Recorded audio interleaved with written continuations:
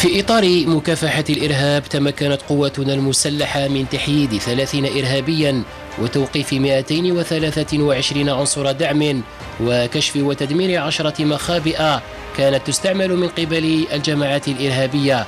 مع استرجاع 26 قطعة سلاح ناري و23 قنبلة تقليدية الصنع بالإضافة إلى كمية من الذخيرة. وفي إطار محاربة الجريمة المنظمة ضاعفت مختلف وحدات الجيش الوطني الشعبي جهودها الحثيثة الهادفة إلى التصدي لآفة الاتجار بالمخدرات ببلادنا.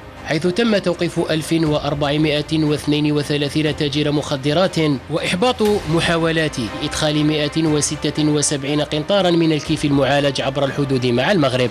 وحجز 129 كيلوغراما من مادة الكوكايين و11 مليون و726 ألفا و988 قرصا مهلوسا. كما شملت هذه العملية المنظمة والمنسقة توقيف 6026 شخصا وضبط 860 مركبة و2164 مطرقة ضغط و3587 مولدا كهربائيا و156 جهاز كشف عن المعادن و86 طنا من خالط الذهب والحجارة.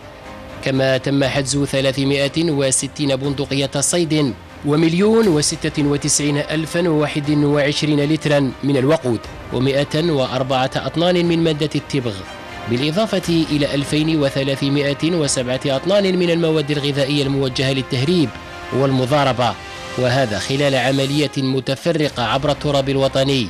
من جهة أخرى أوقفت مفارز مشتركة للجيش الوطني الشعبي 13573 مهاجرا بطريقة غير شرعية من جنسية مختلفة عبر التراب الوطني.